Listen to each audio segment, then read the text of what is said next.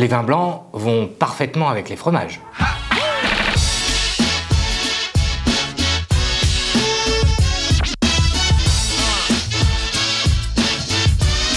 Aujourd'hui, apéro, fromage et Vouvray moelleux. Donc nous allons essayer un Vouvray moelleux et une fourme.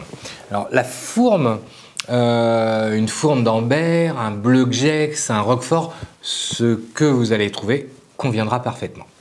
Dégustation.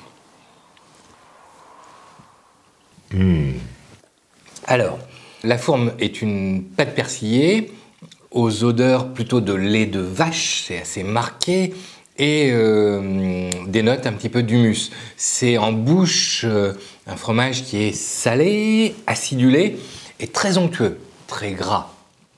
Les Vouvray moelleux sont euh, expressifs par leur côté fruits mûrs, fruits confits, avec des petites notes de fruits secs. Hein. ça sent de fruits secs, de fruits séchés. On a un peu les deux, la date, des choses comme ça. Euh, et puis en bouche, ce sont des vins qui sont sucrés et amples. Voilà. Du fait de cette complémentarité, en accord, ça fonctionne à merveille. Et nous ici, on aime.